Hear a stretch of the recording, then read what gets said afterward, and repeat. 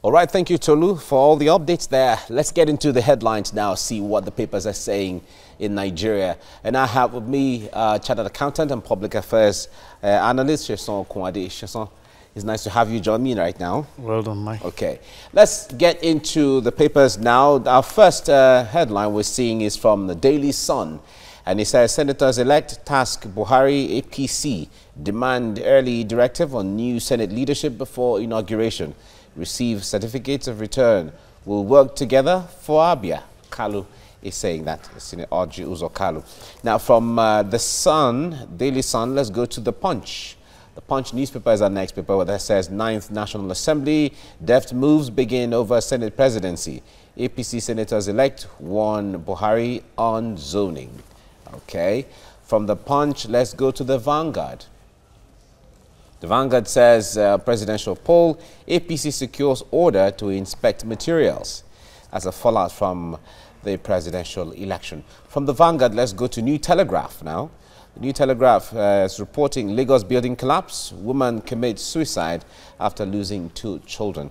And uh, has multiple riders there saying parents bury their children and health workers extorting us. Uh, that's uh, some of the victims at the hospitals are saying that.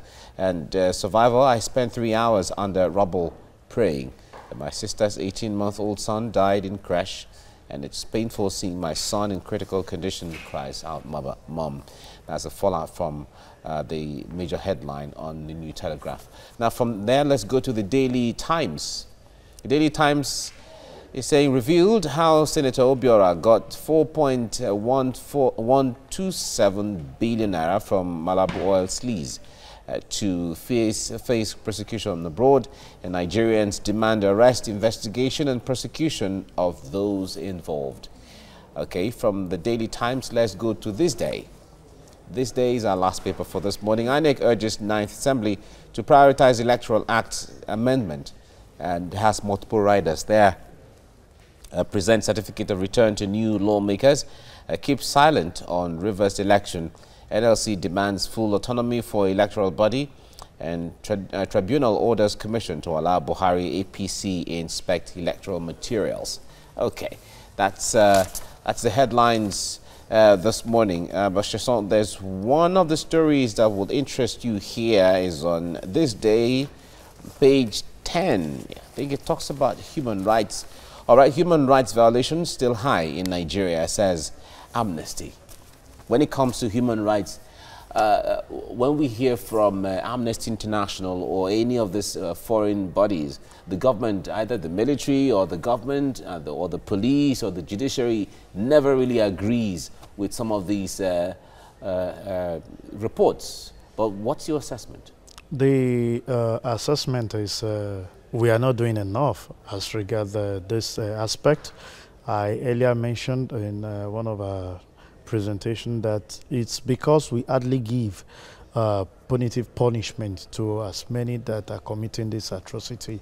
Look at the insurgents. We had situation where some of those problems are linked to high flyers and nobody is actually dealing with them. If you leave that of the insurgent, you go to how young ladies, women, children are being uh, assaulted, raping, and nobody is actually looking in that direction. But even uh, the, the, most prominent one, uh, some reports say government is even one of the biggest culprits when it comes to violation of human rights. Talking about those still in detention, even when the court says uh, they should be released on bail. Yeah, the the it's part of the problem and the challenges we have because we hardly follow the law to letter. We have a personal, you know, aggravament overriding the law because we feel we just think the law is really not intact. Uh, and part of what we keep telling you, if you feel the law is not intact, that is where we have the legislative arm. Re-amend the law to suit your purpose, to suit what everybody will benefit from. Not when the law says do this, you feel because it's not in your favor, then you're not working line well, what impact would all of this report really have on the country, like Nigeria, for instance? People won't just have confidence in the governance because if you violate human rights, that means people cannot freely do what they want to do, and people cannot have, you know, this sense of belonging and protection as a nation, and that that will impact negatively on the governance of the nation. You think you think the government is overwhelmed and uh, can't do much when it comes to the rule of law? In, uh, we are not human, overwhelmed. Human it's not that we are not putting the right thing at the right place. We are not overwhelmed at any at any level at any point Nigeria in time. has the capacity. We have the capacity to do everything humanly. The the the resources needed, both personnel, both machinery, and everything. We have it. So it's, it's just that we are will. not putting it. Just the will the and will proper, re, you know, re reorganization and reorientation of people that will get it right. Okay, we look forward to getting it right. Uh, or let's let's look at uh, Daily Times. I think on page six on the Daily Times. Uh, let's see what saying here. High wire politics begin over who becomes next in the president. I think we, uh, I, remember, I think he has uh, Ndume Lawan and three others APC senators in the race will avoid repeat of 8th uh, Senate leadership crisis. this is one other debate that is still ongoing and all of that. Now, uh, a lot of, uh, some politicians are saying the dynamics will change and then it will be zoned to uh, the south, southeast. Others are saying no, he remains in the, in the, north central. Others are saying he has to go to the north northeast this time around. We'll, we'll leave that to the politician to the party to and the party to decide. What we are actually asking for is we people believe in the administration of uh, the president, Muhammadu Buhari, and they've actually brought him back so that he can do more things.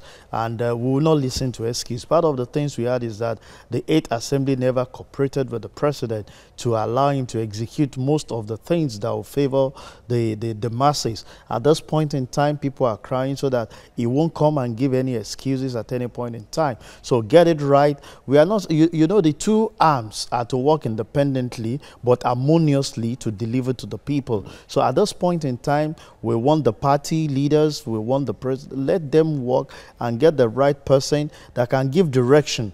Not that will dance to their tune, but that can give direction to the people at the legislative but, to work in harmonious yeah, whatever with the president. How critical will whoever emerges Senate president or leadership of the National Assembly, how critical will that personality be in the drive of the government towards where the president wants it to go?